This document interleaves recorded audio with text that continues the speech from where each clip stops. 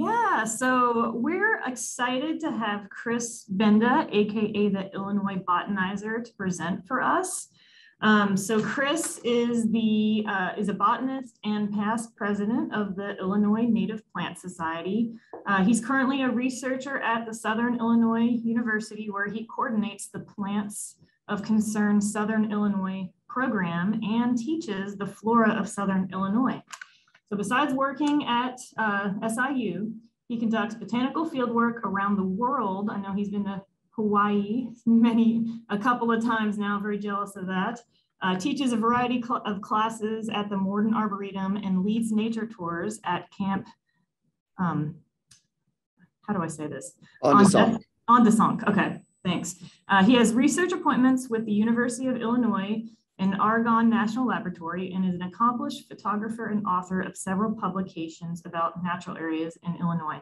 He has an awesome website, uh, www.illinoisbotanizer.com. And I particularly really like your um, like natural community uh, game that you have on your website. It's pretty awesome, uh, where you can connect like different management practices and species to, to natural communities. It's super cool. Um, anyways, I'm really excited that Chris is, is, is going to present to us, and I think we could learn a lot from the program uh, that he manages and maybe apply some of that, some of that. Um, so I'll let you take it from here, Chris. Okay, thank you very much for the introduction. I'm actually uh, headed to Hawaii for my sixth trip uh, on Sunday. So lucky me. But uh, I'm here today to talk about the Plants of Concern program here in Illinois. So this is a uh, community science rare plant monitoring program. And this is actually the fourth time that I've given a talk um, on this topic. And on some of the other times I had a little, little more time. And so I started the I showed the video um, that's at our website, plantsofconcern.org. It's about six minutes long, so I encourage people who are interested to go to plantsofconcern.org and, and watch the very well produced video that explains a little more about the program as well. I have a lot to talk about, so I'm going to go pretty fast here. But um, again, my name is Chris Benda, work in Southern Illinois. Um, the Plants of Concern program is a partnership between the Chicago Botanic Garden and Southern Illinois University. Um, you learned about other things that I do there. So as I'm sure most people are aware, Illinois has seen a lot of habitat destruction, alteration, et cetera, like most of the country. Uh, it's estimated that there were 22 million acres of prairie in the prairie state and about 2,200 acres is considered to be in a pristine or nearly pristine natural condition. So one one hundredth of a percent, not very much. Um, so Illinois has seen drastic landscape changes, and of course that has implication for our native plants. Um, I think it's good to acknowledge that um, there have been many people who peoples who have you know uh, been in North America and ones that precluded uh, Europeans. were a loose confederation of tribes here, uh, many different ones here in Southern Illinois. Acknowledge that. We do have um, a lot of public land in Southern Illinois, and this map shows a little bit about that. So we have the Shawnee National Forest, which is about 290,000 acres. That's in the brown. We have two national wildlife refuges, um, Crab Orchard there is to the north in blue, and then the scattered blue to the south is the Cypress Creek National Wildlife Refuge. And then, of course, we have several large state-owned properties like the Cache River State Natural Area. And so collectively, there's lots of places to view plants and, you know, honestly, for plants to live in the environment. So that's that's one thing that is really enjoyable, I think, about living in Southern Illinois. And if you watch the video, they will quote this um, paper that said one third of all plants may be at risk of extinction. It's kind of a big reason for doing plant monitoring and the Plants of Concern program. Some of these are fairly obvious, but of course, there's many threats to native plants. Sort of, first of all, is plants need places to live. And if we look at the landscape around Chicago, there's not a lot of places for plants to live in this kind of environment, unless perhaps you're a tree. Um, so that's sort of obvious thing. We look at fragmentation effects as well uh, in Jackson County, which is where Carbondale is, Southern Illinois University, my home county. Uh, we see a fair amount of, you know, dark green, which is our forested block. So fragmentation in, in Jackson County is not too terrible. But if we go up to Champaign County, where the University of Illinois is in central Illinois, you can see all these squares, all the sections are very, um, you know, there's lots of roads, they're all farmed, and you see the big city there in the middle. So there's immense fragmentation happening in Champaign County. And of course, you go up to Cook County, it's a whole nother ball game there with the urban sprawl and uh, very little places for contiguous land to harbor native plants. We also have, of course, invasive species concerns that were mentioned you know, earlier. Bush honeysuckle is one that is pretty prevalent uh, throughout Illinois and pretty much any place where there are trees. There's an understory of bush honeysuckle. Uh, Japanese stiltgrass has really been taken off as well. Um, I live in a country club where we collectively have 400 acres. And so I've seen just on our own property an explosion of stiltgrass in the last, you know, several years even. So that's concerning. There's also climate change effects to take into consideration. And what actually is kind of interesting in regard to this with Southern Illinois is that our rare plants may benefit from climate change. You know, it's anticipated the climate is going to warm. And so in Southern Illinois, we're at the northern extent of a lot of Southern species. So as the climate warms, those species may be moving farther north and becoming more common in Southern Illinois. So that may be beneficial in that regard. But of course, in the northern part of the state, um, where we have the program occurring as well, um, plants are also going to be moving farther north. So that may not be as good for the rare plants in that region. So plants of concern uh, was started 20 years ago. We actually had our 20 year anniversary. Um, it was it's uh, been run out of the Chicago Botanic Garden in Northeast Illinois for those 20 years. And just this last year, um, with a large anonymous donation, they were able to do a, a, number of things, including expand the program to Southern Illinois. So I was hired in January uh, to implement the program. So we're almost a year into things. And what's really um, I want to highlight about this is a good example that kind of you know justifies or explains the program is in Cook County. The Cook County Forest Preserve District has over 500 rare plant subpopulations. So if they wanted to annually monitor all of these with their four biologists, it would be impossible. So the idea is to, you know, get the help of community scientists, volunteers that will be trained and will annually go out on their own to monitor rare plant populations. So that's kind of the, the gist of things. And I, I spoke to um, the Cincinnati Wildflower Society recently, and now Kentucky Native Plant Society, and I've talk, spoken, of course, to the Illinois Native Plant Society. So this is something that would be interesting to see either, you know, um, created in other states or perhaps even a larger sort of uh, Midwest plants of concern type program. So it seems like there's lots that to, expansion that can happen here.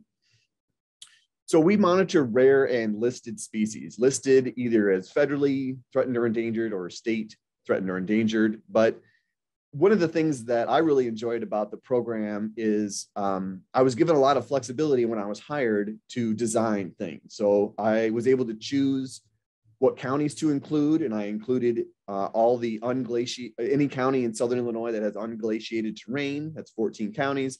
And then I developed the list of plants to monitor. So as I said, we have federally threatened or and endangered. In fact, in Southern Illinois, we only have one federally listed plant species. That's Mead's milkweed, and it occurs at a couple sites. It's very rare. Um, but we have a number of Illinois threatened and endangered species. I think there's 374 species statewide. So any of those that occur in the southern part of the state are included, like the early saxifrage, Micranthes virginiensis. And then some things that are of regional uh, interest or perhaps are rare and just aren't listed for whatever reason, like leatherwood, Dirca palustris. And of course, we are providing this data for conservation. Um, the Natural Heritage Department, Natural Heritage Division at the Illinois Department of Natural Resources, they maintain the database of rare plants. So that's kind of the central location for all of this information. And that's where um, our data will eventually make it. So that's excellent. And sort of a quick little thing about why we do annual monitoring. This is the shoreline of Lake Michigan up in Lake County. And Lake Michigan has been experiencing higher than normal lake levels for many years, which is causing a lot of erosion. Um, there's actually several dynamics at play here, but you can see from 2012 on the left to 2018 on the right that we're losing shoreline. And those polygons are where rare plant populations once occurred, things that grow on the beach. Um, we don't have a lot of beach in Illinois, so a lot of those species are rare, and, and you can see that they're underwater and they're not going to thrive very well there. So with annual monitoring, um, we can keep an eye on the situation and in some cases um, propagate plants and put them elsewhere. You know, it's a very drastic approach, but in some cases that has been done and is needed. So I mentioned we had a, there was an anonymous gift that allowed this new community science initiative, including expanding the program to Southern Illinois. This is a two-year term position with the hope and expectation I think that we will find a new funding source to continue it indefinitely. Um, but also this um, donation was used to make the video, which I mentioned is on our website, and to produce a mobile app and online training and update to the website. So the, on, the training we used to do in person, which has a lot of value, as you can imagine, um, but is also limiting. And so we moved the training online, which obviously was very beneficial for the pandemic period. Um, so people can go on to the website and do the training and get, you know, trained up that way. Now the mobile app is what I'm really excited about. I was a little hesitant. Um, I kind of like paper forms. I always have, and I would print off these paper forms and fill them out. And when I finally embraced the mobile app, I thought this is amazing. I don't know why I've ever used a paper form in my life. No, but honestly this is an app that you download and you go you can you can do all the data entry in the field including your gps points you can do it all on your phone so it's really amazing and it's something that we've talked about if there are other states that want to um, have a similar program that they could use the app as well in fact we've even talked about having biologists at the state level use the app when they're out and find rare plant populations. So you have to generate the assignment ahead of time and you have to have a cellular connection to get that assignment to access it on your phone. But once you've done that, when you're in the field, even if you don't have a cellular connection, you can do all the data entry. You just can't submit it. You can wait and submit it once you get cellular or Wi-Fi, which you know in Southern Illinois is an issue. We don't have strong cell service throughout the region. Um, so I really like the mobile app. It's so amazing to get home at the end of a long day and know that the data entry is all taken care of already. Um, and then of course I mentioned we updated the website and that's really slick as well. So plans of concern, you know, we'd love to have it statewide, but um, that's not possible yet. So as I mentioned, it's been in Northeast Illinois for 20 years and then expanded to Southern Illinois starting this last January. Uh, and 14 counties there delineated as you know, Southern Illinois. So when we go to um, a rare plant population, of course, we have the extent, where are the plants located? Use, and again, we use that GPS on our phone. You count the plants, get an idea of how many, what percentage are reproductive, record the associate species, and any imp impacts like invasives or any management that's known to be done, directions on getting to the site, et cetera. What I actually have been doing is tracking my uh, path on my phone, and then I can upload that to uh, GIS, and I can make a map for that can be used on the Avenza app. So uh, if somebody was to go back to the site in another year, they can download the PDF map that I created, see the tracks that I put on there, and just literally follow my footsteps to go to these sites and really access them, you know, easily. Because in Southern Illinois, some of the sites are large or they're far from where you can park. And so navigation is really an issue where, you know, in Cook County, you can pretty much drive right up to whatever you want to look at and have a short walk and be there. So those are things we're doing there. Um, so quickly here, I want to mention some of the highlights of this year. So I'm going to just fly through some of the habitat types and rare plants we have in Southern Illinois, like limestone glades, or these small forested openings that of course are becoming encroached with red cedar and, and you know, natural succession. Um, we have Mead's milkweed. We have Matelea obliqua is rare, the climbing milkweed, blue sage, Salvia azurea, and oh, my favorite Hexalectris spicata. Sandstone cliffs are also common in Southern Illinois, where we have things like uh, Hylotelephium telephioides, which is this formerly sedum. Um, there are cliff club moths there, Huperzia, porophila. Ooh, the filmy fern is one of my favorites, Vandenboschia boschianum and Ephemeranthus parviflorus, the small flowered fame flower, those all on sandstone. And then, of course, the wonderful French's shooting star, Primula frenchii, once thought to be endemic to Southern Illinois, but it can be found in several other adjacent states, including Alabama. But beautiful one. We have the mother lode, I like to say, of the French's shooting star. Uh, we have these acid gravel seeps in you know extreme southern Illinois, Pope County and Massac. And we get things like Carex atlantica, uh, star sedge. We have Platanthera clavellata, it's an orchid, and Rhexia mariana, the meadow beauty. Now, streams are interesting. We don't have a lot of plants that really grow in the stream, but we do have this neat one, the Plantago cordata, heart-leafed plantain. There's maybe 10 locations for that in Southern Illinois. It does occur actually in other parts of the state as well. And then the really rare green trillium, I'll tell you about in a second. Floodplain forest swamps, Hydrolea uniflora is rare. Just four locations I found for that this year. Uh, talk about that in a minute. And then, of course, this one here, Oxalis illinoensis, uh, discovered and described in Illinois by John Schwegman, our former state botanist. Really lovely little sorrel. And then we also have the silver bells, Halesia tetraptera, Styrax americana, Clematis crispa, a number of that this year, and Amorpha nitens. All right, in upland forest, some other interesting things, but I really want the little amount of time I have left want to talk to you about some finds this year. So Northeast Illinois in 20 years, they've got a lot of volunteers involved, a lot of species monitored, a lot of sites visited. In Southern Illinois, just this year, we've had 38 volunteers. We've uh, taken into the field. We've monitored 92 species, 168 sites for a total of 304 EOs. So one species monitored at one site, that is one EO. So 304 um, from this, this field season is a number I'm very proud of.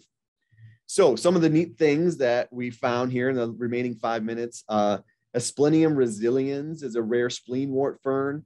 It, I'd never seen this before. It seemed like it was near extirpation in Illinois. Very little was known about it or seen in the last 20 years. And we went to one site and found hundreds of them, which motivated us to find all five known locations for this plant and um, confirm its extant in all of them. So that was really exciting. We did that in February when this is really conspicuous and of course the temperatures are nice. And so that was very motivating to do that. Um, same with Micranthes virginiensis. I'd never seen early saxifrage before. And it's only in Hardin County in Illinois. And not only only Hardin County, but only along the Ohio and sandstone ravines of Hardin County very localized, but within those habitats, super common. I counted probably 50,000, I mean, estimated 50,000 flowering plants. I mean, all the sandstone exposure had just loads of this.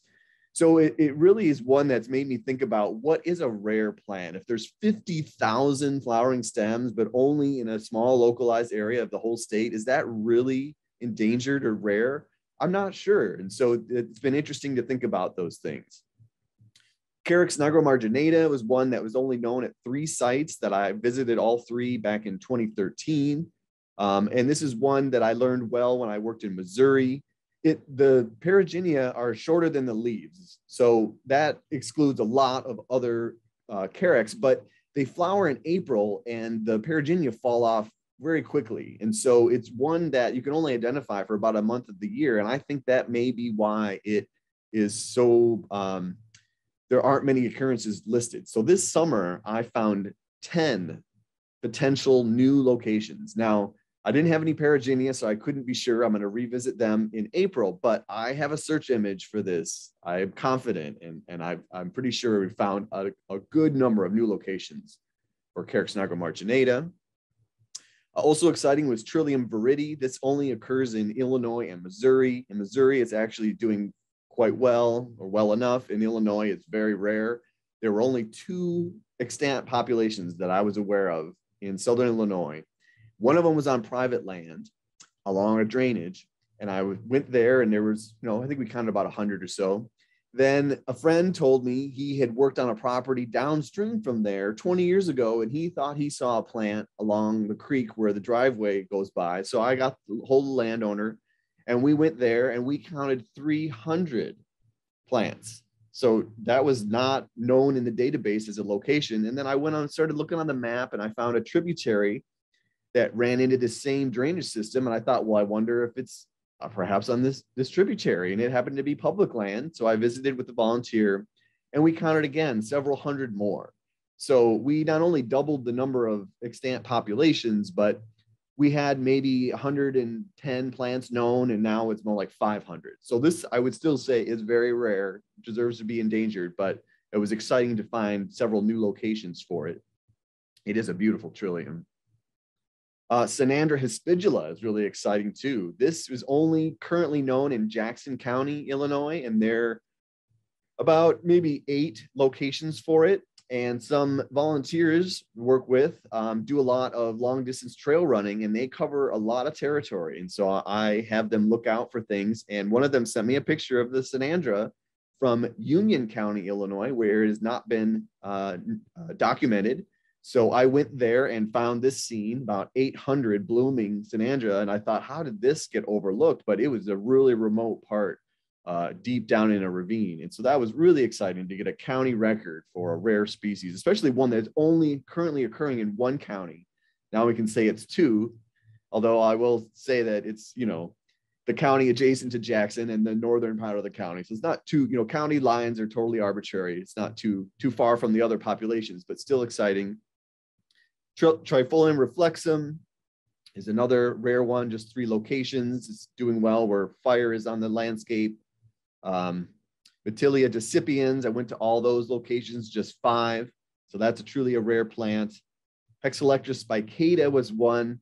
My strategy was to go to all the known locations for any given plant so we can really get a snapshot in time of the full story of a species. So we went to eight sites, 15 subpopulations in five counties and founded at each one, total of 487 plants of that beautiful orchid.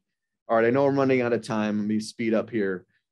Heteranthera reniformis went to all five locations. It was not at any of them and would have been determined extirpated, but I found four new locations and three of them were rutted out ATV, you know, abuse and that's mud plantain. This plant likes shallow mud water, and it's being created by this illegal ATV use um, where this had showed up. So that was really kind of cool. And I guess I'll stop here, but Platanthera flava, also another one. We found thousands and thousands of blooming plants, but only in three counties. And I thought, is this really rare? I don't know. Orchids are picky. I'm going to wait and see what happens uh, next year. Um, and see, too much to share with you. I'll end with the Carya aquatica.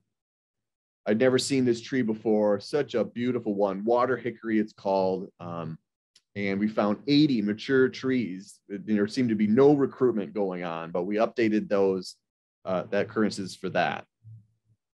So I'll have to end here, mention the show the names here of the staff of the Chicago Botanic Garden who involved and then here staff at Southern Illinois University. So again, that was very quick, but I hope you uh, learned a lot about the program and are inspired to help us out with monitoring for rare plants.